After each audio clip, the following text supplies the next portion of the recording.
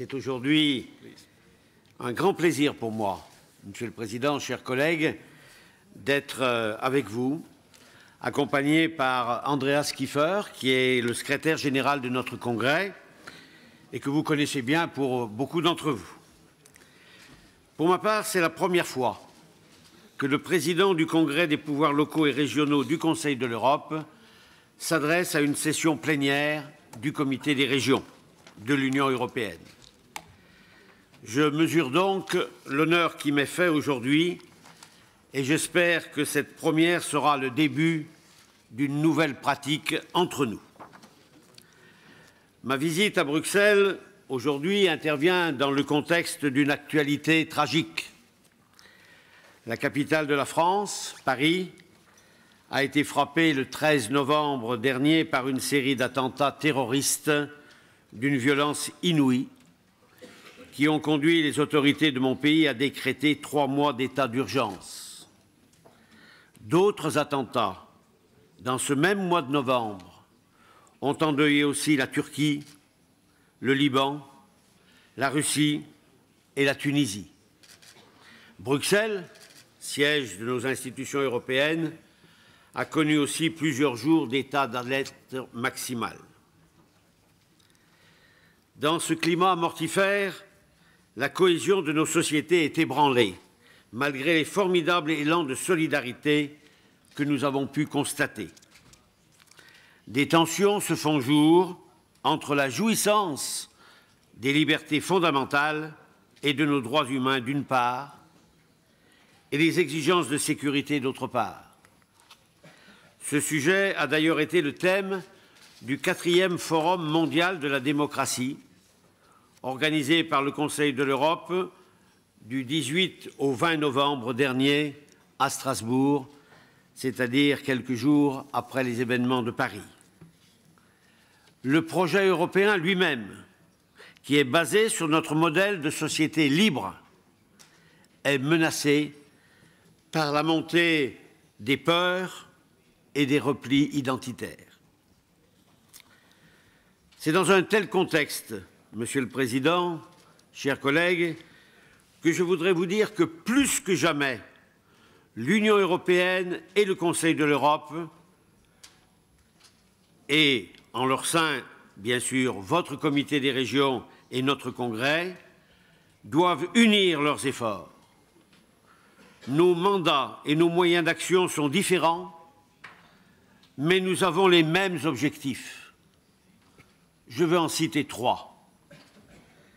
Le premier, veiller à la prise en compte de la dimension locale et régionale dans le processus de prise de décision au niveau national et au niveau européen dans, nos organisations respectives. Deuxième objectif, c'est de participer à la mise en œuvre de ces décisions en y impliquant les autorités que nous représentons au niveau le plus proche des citoyens. C'est l'apport que vous et nous, nous faisons dans nos grandes institutions. Troisième objectif, d'une façon générale, c'est de promouvoir l'autonomie locale et régionale à travers l'Europe. L'Europe, c'est celle des 47 États membres du Conseil de l'Europe et c'est aussi l'Europe, celle de l'Union européenne, avec ses 28 pays membres. Notre coopération s'appuie sur une base solidement établie. Nous avons, vous le savez, un accord de coopération qui date de 2009, qui s'inscrit lui-même dans le mémorandum d'accord de 2007 entre l'Union européenne et le Conseil de l'Europe nous avons 28 États membres communs et un certain nombre de représentants de ces pays siègent à la fois au Congrès et au Comité des régions, et ici, il y en a plusieurs dans la salle. L'année dernière, le Comité des régions et le Congrès ont fêté tous deux leur 20e anniversaire. Cela nous a donné l'occasion d'évaluer notre coopération en vue de la renforcer de l'approfondir. À cet égard, je me réjouis de la décision prise cette année de transformer le groupe de contact qui existait entre nous jusqu'à présent, transformé en un groupe plus restreint, mais de haut niveau, puisqu'il comprendra d'un côté le président du comité des régions, son premier vice-président et le président de la commission CIVEX, et de l'autre côté le président du Congrès et les présidents de deux chambres du Congrès.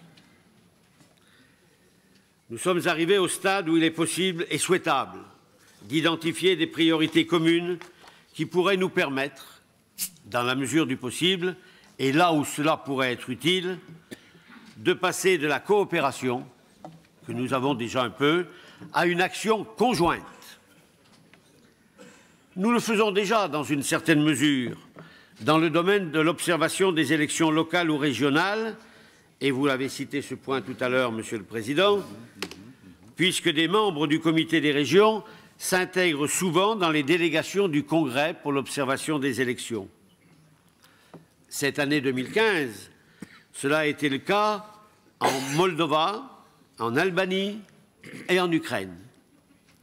Je sais que votre participation aux missions d'observation d'élections organisées par le Congrès fait l'objet de débats en votre sein mais je note avec satisfaction votre décision du mois de juillet de la poursuivre dans des pays, en particulier dans les pays de l'élargissement ou certains pays du partenariat oriental. Du côté du Congrès, nous accueillerons favorablement toute volonté du Comité des régions de s'impliquer davantage dans ces missions, s'impliquer davantage politiquement, et permettez-moi de vous dire aussi, Monsieur le Président, matériellement. Nous travaillons chacun de notre côté dans les pays du partenariat oriental. Ces pays sont des voisins pour vous, Union européenne, mais ce sont des États membres pour notre Conseil de l'Europe, à l'exception du Bélarus. Nous avons récemment organisé ensemble, ici à Bruxelles, des tables rondes sur la situation de la démocratie locale en Azerbaïdjan, en Ukraine et en Arménie, sur la base du travail de monitoring du texte important pour le Congrès qui s'appelle la Charte européenne de l'autonomie locale. Et tout ce travail avait d'abord été effectué par le Congrès. Mais le Congrès participe également aux travaux du CORLIP, mis en place par le Comité des régions au bénéfice des pays du partenariat oriental. Parmi ces pays, permettez-moi de faire un mot spécial concernant l'Ukraine. L'Ukraine qui représente à l'évidence un enjeu politique fondamental. Le Conseil de l'Europe et notre Congrès sont fortement impliqués dans les réformes en cours, y compris l'ambitieux processus de décentralisation qui a été lancé dans ce pays au printemps 2014 et qui a conduit à l'adoption d'amendements constitutionnels le 31 août 2015. Cette préparation d'amendements a été l'objet de la part du Congrès d'une grande attention et d'une aide sur le terrain de nos experts du Conseil de l'Europe.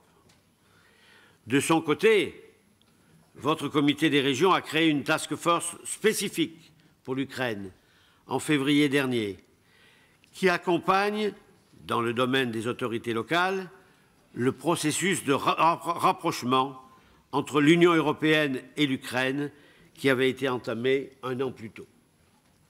Dans ce pays, nous pourrions probablement développer encore davantage nos synergies. N'oublions pas, permettez-moi de le dire tel que je le pense, N'oublions pas que l'avenir de l'Europe se joue en partie dans l'Ukraine d'aujourd'hui. Le travail utile et maintenant bénéfique que nous réalisons dans les pays du partenariat oriental pourrait être étendu aux pays de l'élargissement. La démocratie locale et la décentralisation représentent en effet un enjeu majeur pour la plupart d'entre eux comme en témoigne d'ailleurs l'importante réforme territoriale mise en œuvre en 2014-2015 en Albanie. En complément de son travail de monitoring de la démocratie locale et régionale dans les États membres du Conseil de l'Europe, qui sont tous partis à la Charte européenne de l'autonomie locale, le Congrès a développé récemment des activités de post-monitoring, avec l'objectif de conclure avec les gouvernements des pays concernés une feuille de route. C'est un terme à la mode, mais il est important. Une feuille de route conjointe pour la poursuite des réformes. Cette procédure est principalement basée sur le dialogue politique avec les autorités des pays concernés pour mettre en œuvre les recommandations adoptées par le Congrès. J'ai moi-même signé, au mois de mai dernier, la première feuille de route de ce type avec le vice-premier ministre ukrainien, M. Gennady Zubko. Une autre a été signée en septembre avec le gouvernement portugais. Et je me rendrai le 16 décembre prochain à Tbilissi, en Géorgie, pour signer une troisième feuille de route avec le ministre géorgien du développement régional, M.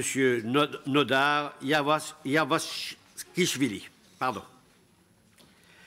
Ce travail de monitoring, ce travail de post-monitoring, le travail d'observation des élections est complété depuis quelques années et au bénéfice de certains États membres du Conseil de l'Europe par des activités de coopération qui visent à accompagner concrètement les réformes et à former les élus locaux et de jeunes responsables de la société civile aux principes et aux normes du Conseil de l'Europe en matière de démocratie locale.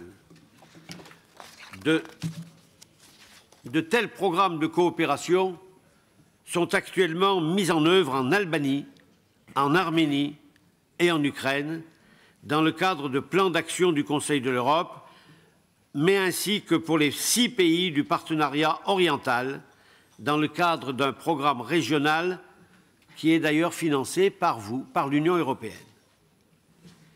Il pourrait certainement offrir un cadre pour une éventuelle implication de membres du comité des régions dans cette action. Au-delà de ces perspectives de coopération renforcée au niveau des pays, nous pourrions également identifier des priorités thématiques et conjointes. Ce serait répondre à votre invitation, Monsieur le Président, et je vous dis tout euh, l'engagement que nous mettrons dans ce sens-là.